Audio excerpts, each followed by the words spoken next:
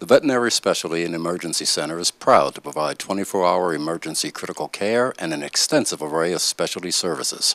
Our brand-new state-of-the-art hospital is convenient to Route 1, the PA Turnpike, and I-95.